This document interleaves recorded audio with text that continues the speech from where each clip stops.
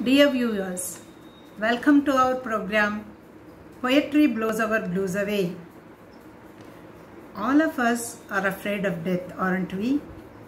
All of us entertain fears about death, don't we? Death is a taboo word, though we see him all around us, especially so in these days of Corona. Here I come to you with a refreshingly new poem about death, which throws refreshingly new thoughts on death.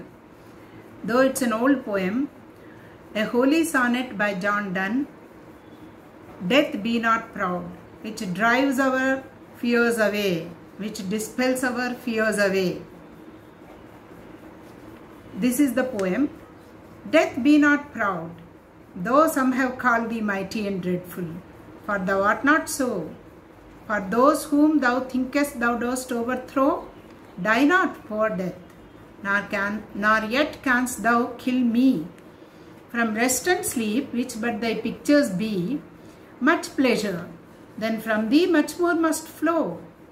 And soonest our best men with thee do go, rest of their bones and souls delivery.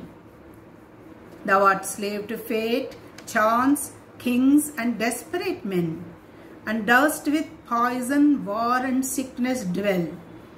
And poppy or charms can make us sleep as well, and better than thy stroke. Why swellest thou then? One short sleep past, we wake eternally, and death shall be no more. Death, thou shalt die. The sonnet starts with an apostrophe, a direct address to death, warning him not to feel proud. Though some might have called him mighty or dreadful, you are not at all so, says the poet. You are not at all dreadful or mighty, O death. You may think you overthrow, certain people, but you do not do so. You cannot kill them.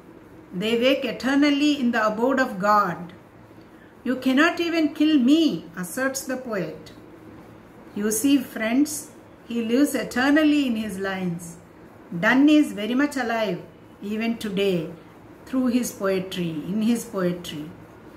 Donne gives a series of arguments. Rest and sleep are but your pictures, mere pictures, copies. Much pleasure flows from them, from rest and sleep.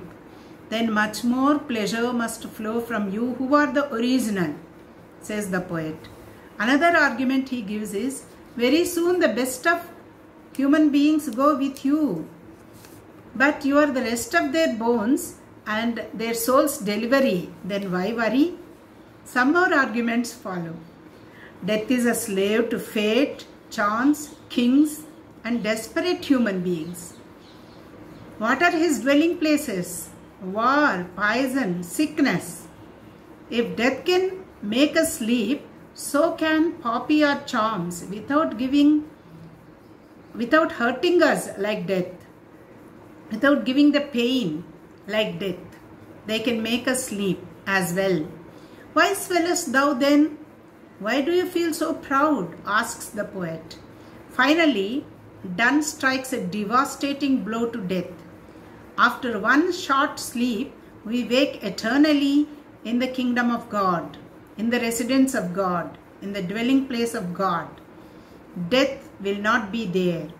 Death shall be no more. Death thou shalt die, pronounces the poet, admonishes the poet.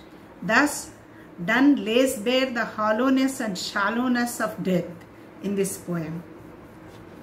When it was first prescribed for the undergraduates, there were a spate of letters, complaints, saying that it was not suitable for youngsters, for youth. But I don't think so. In my view, they are the need of the hour.